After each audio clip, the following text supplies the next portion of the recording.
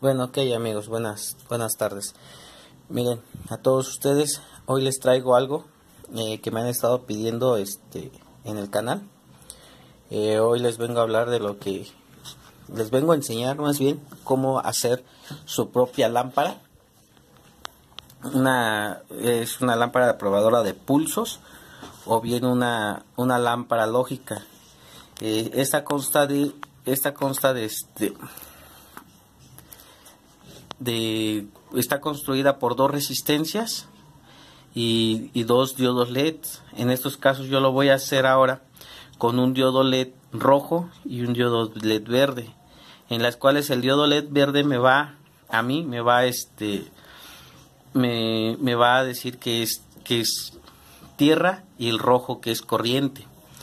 ¿Ok? Bueno, ¿qué vamos a necesitar? Necesitamos dos diodos LED dos resistencias, yo lo voy a hacer de 560 ohms cada resistencia y cable, vamos a necesitar cable, ok, bueno, les voy a decir qué, qué, qué material vamos a utilizar, este es el diagrama, lo vamos a armar conforme va el diagrama, este, así lo vamos a armar, este se supone que es una batería, o sea el cable para conexión de baterías, vamos a necesitar unas pinzas, necesitamos un, una charrasca, un probador de corrientes ya sin cable.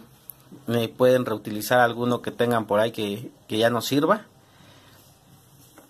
Dos caimanes para la tierra y la corriente. Dos resistencias de 560 ohms. Mm, no sé si lo alcancen a ver ahí. Mm, los colores, los colores son verde, azul y café. Esos son los colores de la resistencia y, y dos diodos LED, rojo y verde. Bueno, en estos casos este es transparente, pero eh, su, su, color es el verde. Les voy a explicar cómo, cómo viene este, este, este LED. El LED este, es muy, muy común si, no, si quieren saber cómo viene su polaridad con una batería de, de 1.5 volts o el, este, o el de 6 volts bueno. Eh, la pata larga es positiva y la pata corta es negativa. Ok. Pero bueno, vamos a probarlo. Eh, vamos a probar para que vean ustedes eh, cómo se prende. Nunca se les ocurra meter este LED a 12 voltios directos, sino en una pila de 3, 3 voltios. Ahí está. Está prendiendo el foco. Vamos a ver el otro máximo lo que pueden soportar estos estos LEDs son son 5 voltios ok para que no este no los vayan a quemar. La resistencia solamente es para bajar es, es para bajar la, la intensidad de la del voltaje más que nada ok porque no podemos trabajar con esos LEDs así. Ahí está listo verde. Están funcionando mis dos leds ahora les voy a enseñar cómo en, cómo vamos a armarlos. Necesitamos también una eh, es, es, este una baquelita perforada. Mm, es fácil de conseguirlo en, la electrónica hay que cortarlo de mínimo de un centímetro por dos. Pero pues cada quien como le, como tenga el, el probador yo, yo en esos casos lo corté corté la baquelita al tamaño que entrara aquí. Miren para que entrara ahí. A ese a ese este a ese tamaño lo corté.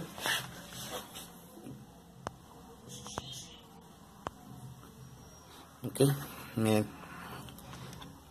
Lo corté para que entre aquí al tamaño. Vamos a necesitar un resorte. Un resorte. ¿Esto cuál va a ser? Para que nos haga el contacto con la punta, con esta, para que no saquemos cables por donde quiera. ¿Ok? Un resorte. Esto ahorita lo adaptamos para que entre hasta adentro y nos haga el contacto. Vamos a necesitar también una rondanita para que nos atore el cable y vamos a necesitar mínimo unos 2 metros de cable. Podemos reutilizar el cable que tengamos ahí. Yo en este caso lo saqué de un arnés que tengo ahí bueno, y los, y los caimanes. Ahora vamos a ver, vamos a armar como viene en el diagrama. ¿Ok? Para eso tenemos nuestra baquelita. Vamos a necesitar también un cautín. Un cautín vamos a necesitarlo. Vamos a necesitar un cautín para soldar pasta y estaño. Ok, vamos a, vamos a empezar poniendo lo que me dice la, el diagrama. Para el, primero es de 560 ohms. Vamos a poner la resistencia, 560 ohms.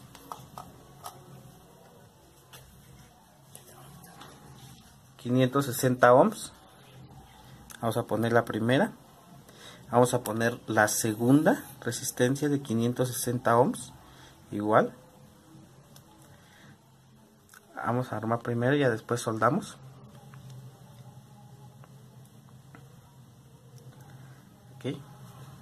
estos van a ir hacia la batería positivo y negativo. Vamos a meter los leds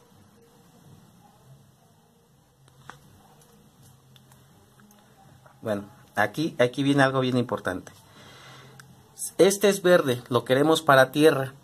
Ok entonces lo vamos a alimentar de corriente. Este va a ser esa es la corriente, entonces vamos a ponerlo hacia la resistencia y el otro punto lo vamos a poner hacia lo que va a ser nuestro probador. Ahorita van a ver. El otro, lo que es la corriente, este lo ponemos al revés.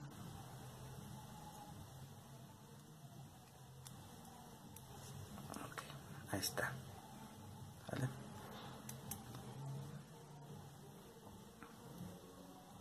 Listo, ahí está.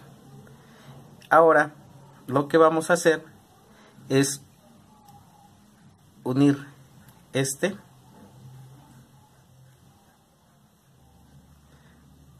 unir este otro para que no nos vamos a equivocar y estos van a ser una sola pieza así igual que este con este van a ser igual una sola pieza ok. Ahí ahí vamos a proceder a soldarlos para que sea una sola pieza y de aquí vamos a soldar lo que es el cable. Ok aquí vamos a vamos a pelar el cable y vamos a soldar una pata aquí y la otra pata del cable acá. Uno es positivo y el otro es negativo. Y vamos a poner los caimanes en, la, en el otro extremo. Bueno este les voy a explicar un poquito más por qué hice esto.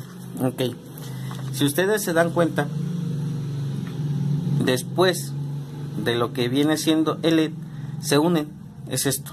Esto es lo que se unió del LED. ¿Ok? Esto es la punta a la que va a ir hacia eh, para probar los pulsos, todo eso. Aquí en medio, lo que hice aquí fue es esto. Es este puente. Esto, esto va a proteger si hay alguna caída de voltaje, X o Y situación, pero al sistema que estamos checando para que no haya una descompensación. ¿Ok? Bueno, las resistencias solamente vienen a bajarnos lo que es la fuerza de voltaje.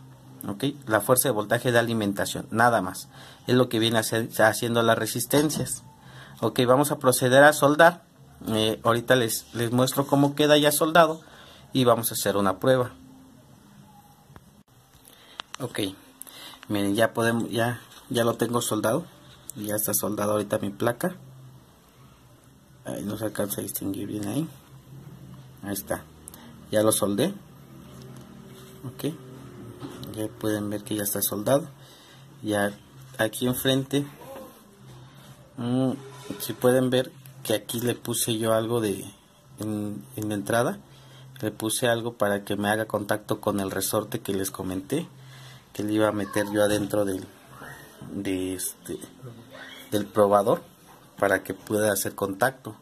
Entonces vamos a empezar a armar para que no tengamos dificultad. Ya le puse los caimanes. Ya vieron que ya le puse los caimanes. Pues vamos a empezar a armar. Y ahorita este, vamos a meter esto aquí para que vean cómo, cómo queda. Y ya este vemos. Ok, mira, vamos a meter lo que es el resorte para que tope ahí en el fondo. Yo le hice aquí un pequeño este al resorte ya le ya le hice algo para que me tope con esto. Aquí así ya cuando esté adentro. Vamos a meterlo. Este este entra hasta hasta adentro está. Lo clavamos bien. Y ahora sí metemos este. Ok. Le hacemos un pequeño nudito a esto para poder meter la el cable ok. Bueno pues vamos. Vamos a meterlo vean cómo queda. Esto va aquí. Y lo apretamos. Ok. Ahí está el resorte hace su trabajo. ¿Vale? bueno pues vamos a pasar a probarlo a ver cómo funciona. Lo que viene siendo nuestro probador vamos a ver cómo funciona. Este, positivo y negativo. Positivo. Negativo. Positivo. Negativo. Funcionó bien. Ok. Ahora vamos a probarlo en el carro. Vamos a verificar si nos entrega pulsos como lo dice su nombre lámpara lógica. Vamos. ok vamos a probar nuestra lámpara lógica que acabamos de hacer. Ahí está. Tierra. Está corriente. Ok vamos a probar pulsos. Eh, vamos a agarrar el de la bobina porque ahorita está muy muy este muy cañón lo que es agarrar de los inyectores. Y vamos a darle marcha para que arranque. Como podemos ver ahí